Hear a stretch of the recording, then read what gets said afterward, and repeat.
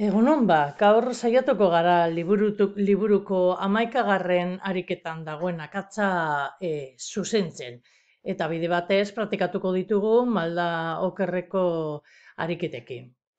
Beno, e, ikus dezagun liburuan agertzen dana, lauko mazortziko kaja badago, plano inklinatu bate, goruntz mugitzen ari da, beraz indar bat egiten dugu goruntz, planoarekiko paraleloan e, egindako irurun da hogei newtoneko indar batekin. Indar normala esaten du eun da bi newtoko, newtonekoa dala. Eta marrezko dara koefizientea 0,2 bos e, bikoa. Eta e, kalkulatu behar dugu, ze azelerazioarekin mogituko dan goruntz. Lehenengo eta behin, beti egin behar den gauza da, egoera marrastu, beraz marrastu egin dugu, malda honetan, lau indarrak, gorantzarako indarra, normala, marruzkaduraren indarra eta noski, naiz eta horre zaipatu, e, pisua, pisua izango da MG. Eta hemen ikusten duzu e, bere bi osagaietan bananduta dagoela. Hau izango da pisua, pisuaren arda e, osagai vertikala, i ardatzekoa, eta e, pisuaren osagai horizontala edo isa e, ardatzekoa. Beno, behin marrazki egin da gero, representazio grafikoaren ostean, zehaztu behar e, ditugu dakigun datuak. Badakigu masa, badakigu e, indarraren modulua, edo badakigu indar normalarena, eta badauka, badakigu marrozkodure koefizientea. Eta zein da ezaguna, bakasunetan galdetu egiten dau, ea ze azelerazioarekin mogituko den. Eta gainera, ez digu ez ere esaten angeluaren inguruan, ez dakigu zen maldako mm, angeluarekin mogituko dan. Eta ze formula dakiguz? Beno, badakigu marroskadoraren indarra dela, marroskadoraren koefizientea bider normala. Badakigu ere, pisua dela masa bider gravitatea. Eta e, e, pisuaren osagaiak izango lirateke angeloa jakingo bagenu, ze kaso honetan ez dakigu, ba, osagai horizontala izango zala e, pisua bider sinu angelua eta osa, e, pisuaren osagai vertikala izango litzateke pisua bider e, kosinu angeloarena. Baina momentu ez ezin dugu hauek erabili. Eta adibide honetan gainera, e, normala izan behar da e, pisuaren osagai vertikala. Ze, mm, norabide horretan beste indarrik ez dago. Eta horrekan mantentzeko osagai e, bi hoiek edo indar bi hoiek e, kontrajarriak izan behar dira horreka lortzeko. Norabide berean, baina kontrako zeinuarekin edo kontrako e, norantzarekin. Beno, ze pasatzen darik eta honetan? Gauza kurioso bat, guk atarati, atara egiten badugu pisua dela masa bider gravitatea, konturatu egiten gara, masa lauko mazortzi kilokoa baldin bada, pisua ataratzen dela berrogeta zazpiko mazero lau newtonekoa. Eta bere pisuaren osagai vertikalak beti izango da pisuaren balioa baino txikiagoa. Beti. Eta orduan ere galdera da, nola liteke normala izatea eun dabi newtonekoa, baldin eta PI berrogeta zazpiko mazero lau newtonekoa baino txikiagoa baldin bada. Ezin da. Ezin, ez da betetzen baldintza hau. Hau benetan izango balitz, egaz hasiko litzateke objektua eta hori ez da gertatzen.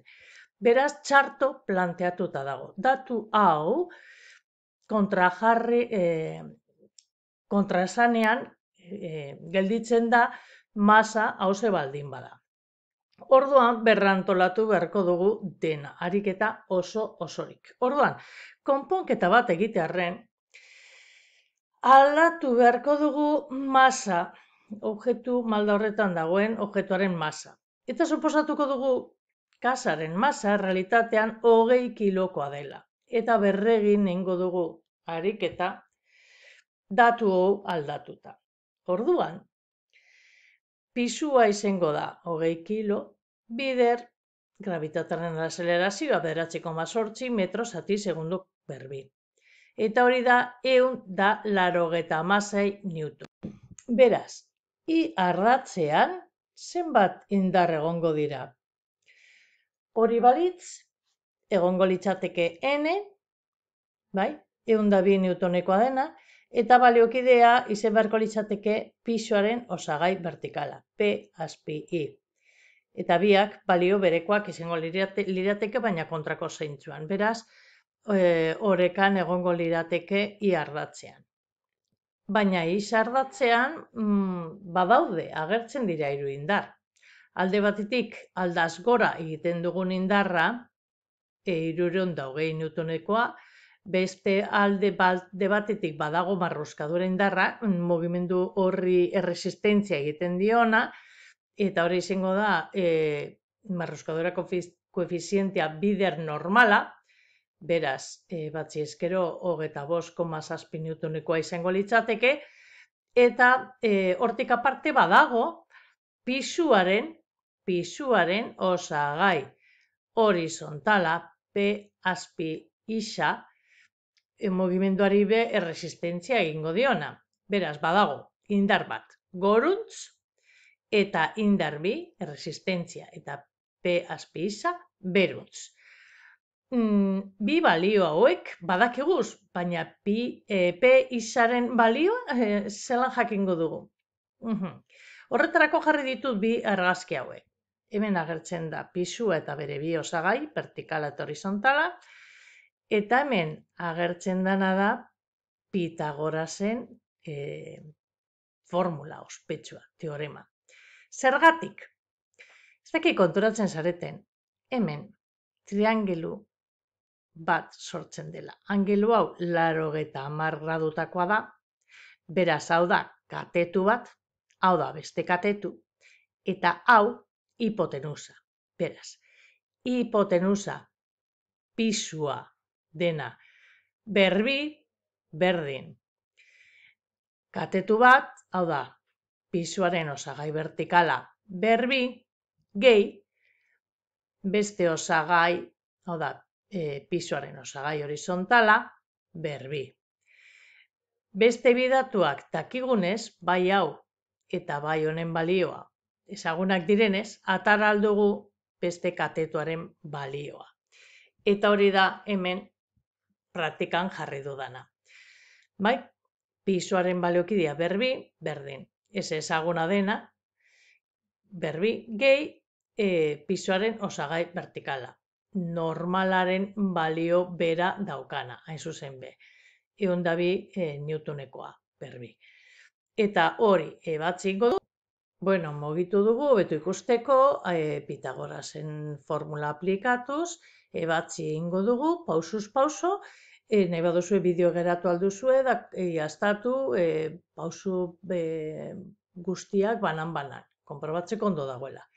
Beraz, badakigu, iardatzen dauden indarrak, orekan daudela, modulu berdine baina kontrako norantza dutelako, eta isa ardatzean e, daudenak ez daudela orekan, badago indar bat goruntz egiten duela, eta bi indar beruntz egingo dutenak erresultantea beraz izango da. Indar, e, indar nagusia, goruntz egiten dana, ken kontrako norantzan mogitzen e, indarra egiten dutenak. Bogi arazi nahi dutenak. Hau da, resistentzia eta pisuaren osagai e, horizontala. Ebatzi dugu zenbat balio duen erresultantea eta Newtonen bigarren legearen arabera badakigu. Indar guztien baturak, hau da, resultantea dela, masa bider azelerazioa. Ordezkatu egiten ditugu dakigun datuak, masa da hogei kilo, holan egin dugun zuzenketaren arabera, eta hortik ebatzi izango dugu azelerazioa. Eta hau da hain zuzen be, e, azkenengo emaitza. Espero dut argi izatea nola egin dugun. E, gelditu aldut, aldituzue, alduzue bideoan beste bider, eta ikusi, aztertu eta hau eredu moduan saiatu beste ariketak antzerako egiten.